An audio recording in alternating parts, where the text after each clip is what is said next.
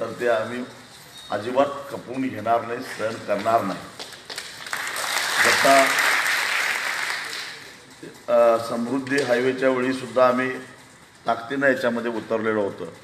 परंतु आंदोलनामध्ये उतरून डरकाळ्या फोडून बाजूला होणाऱ्यापैकी आम्ही नाही.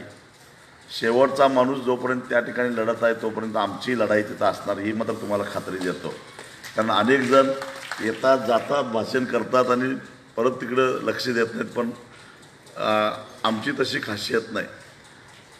भूमी अधिग्रहणाच्या संदर्भामध्ये जिथं जिथं आंदोलनं झाली तिथे तिथं भूमिपुत्रांच्या बाजूनं शेतकऱ्यांच्या बाजूनं स्वाभिमानी शेतकरी संघटना नेहमीच राहिलेल्या आहे विशेषतः दोन हजार तेराच्या भूमी अधिग्रहण विधेयकाच्या दुरुस्तीचा प्रस्ताव ज्यावेळी लोकसभेमध्ये आलेला होता दोन हजार पंधरामध्ये त्यावेळीसुद्धा खणखणीत आवाजामध्ये मी सांगितलेलं होतं की या देशातल्या शेतकऱ्यांची एक इंच जरी जमीन अधिग्रहित करण्याचा प्रयत्न केला तर याद राखा रक्ताचे पाठ वाहतील परंतु तुम्हाला एक इंच सुद्धा जमीन मिळणार नाही असं कणकणीतपणाने मी सांगितलेलं आहे. तेव्हा वेळ फार झालेला आहे आणि हॉलची मुदत संपत आलेली आहे त्यामुळे मी जास्त बोलत नाही. पण एवढंच सांगतो की ही लढाई तुमची एकट्याची नाही तर आमची सगळ्यांची आहे. माझ्याबरोबर अखिल भारतीय किसान संघर्ष समन्वय समितीचे आमचे समन्वयक व्ही एम सिंग साहेबसुद्धा आलेले आहेत.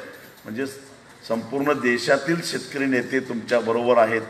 सगळ्या डाव्या चळवळीतले सगळे श- नेते तुमच्याबरोबर आहेत.